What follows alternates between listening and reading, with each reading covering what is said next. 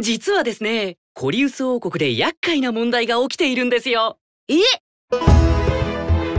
争っているのは兄のサウザーコリウス王太子とアスランと奴を支持する者どもを根絶やしにしろ。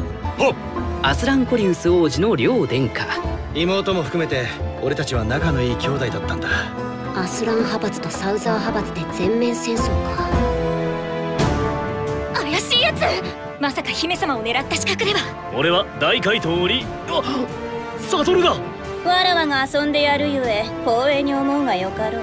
僕の方からわざわざ来てあげたよ。こいつは俺たちで倒す。お前らは邪魔にならないよう避難しててくれ。